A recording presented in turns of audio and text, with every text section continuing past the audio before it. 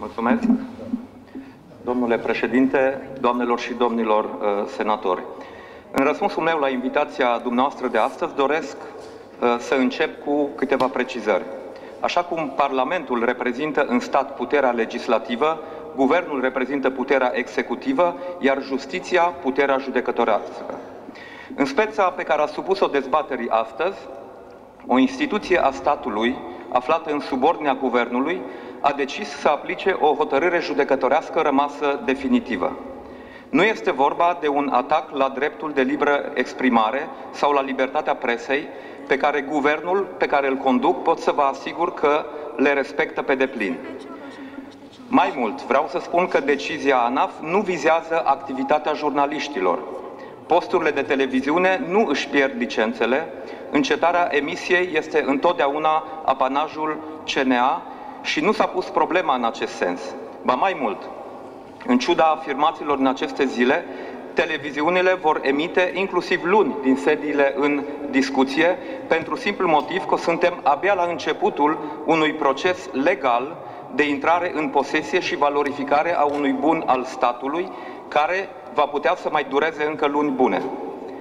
Posturile de televiziune nu își pierd licențele, încetarea emisiei este întotdeauna, cum am spus, apanajul CNA.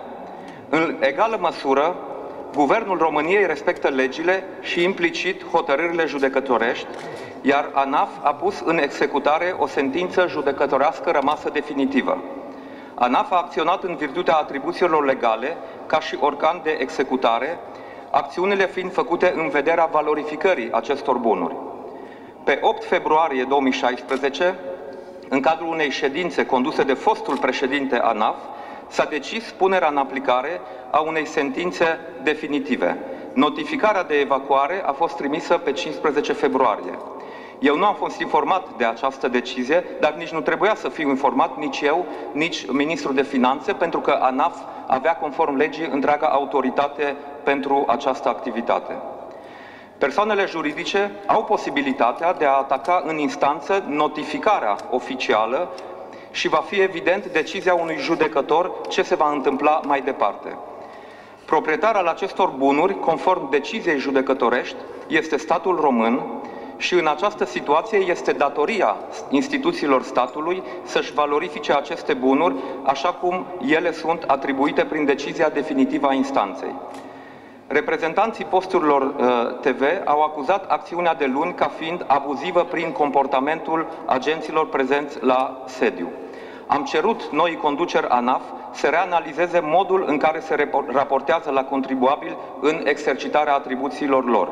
Autoritățile fiscale ale statului lucrează pentru interesul cetățenilor și nu trebuie să aibă o atitudine de intimidare sau de instituție represivă. Dreptul la libera exprimare va fi și el apărat ferm. Și aici uh, vreau să fiu foarte uh, clar, am cerut noi conduceri ANAF să reanalizeze uh, modul în care își desfășoară activitatea. Substanța activității ANAF este una importantă pentru stat, pentru că au o atribuție importantă în a colecta veniturile la bugetul statului, dar atitudinea lor trebuie să fie una de respect față de cetățeni și față de contribuabil, oricare ar fi aceea. În ceea ce privește situația controlului și evoluția pe viitor, termenul dat pentru evacuare voluntară, și sublinez acest lucru, este unul stipulat de codul de procedură civilă și nu este stabilit de ANAF. Acesta este de 5 zile, conform legii, și se aplică tuturor persoanelor juridice pentru evacuare. Deci nu este o decizie specifică a ANAF pentru acest caz, termenul de 5 zile. Nu există în lege termene diferite pentru televiziuni sau pentru alte tipuri de uh, activități. Dacă nu se aplica termenul, atunci ANAF încălca prevederile legale și ar fi putut fi acuzat de discriminare. La ora actuală, singura formă de valorificare a bunurilor confiscate de stat este reglementată de ordonanța uh, numărul 14 din 2007, care presupune doar vânzarea bunurilor ca formă de valorificare a acestora. Acest lucru a fost confirmat și de către Curtea Constituțională prin decizia 859 pe 2015, publicată în 10 februarie anul acesta. Astfel, Curtea Constituțională constată că statul nu poate opta în sensul păstrării în proprietatea sa privată uh, a unui bun confiscat sau transferat din proprietatea sa privată în cea publică decât printr-o intervenție legislativă, deci a legislatorului a dumneavoastră.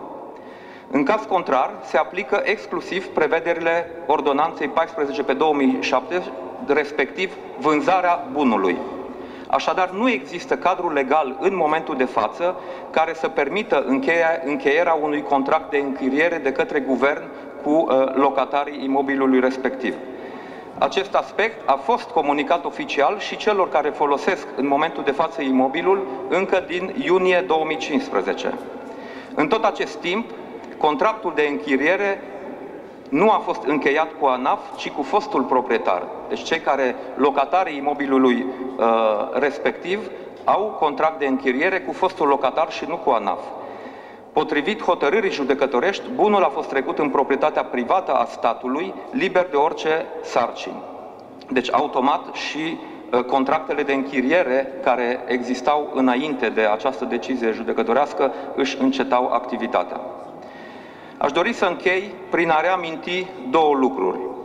Am un profund respect pentru cei care așteaptă ca în România dreptul la liberă exprimare a oricui care respectă legea să fie respectat. Și pot să vă asigur, din acest punct de vedere, uh, guvernul uh, nu se va dezice de la această obligație de a respecta aceste uh, puncte de vedere și acest drept. Totodată, cred că încrederea în statul român nu va putea fi câștigată sau consolidată fără ca autoritățile publice să respecte legea și să respecte statul de drept. Vă mulțumesc!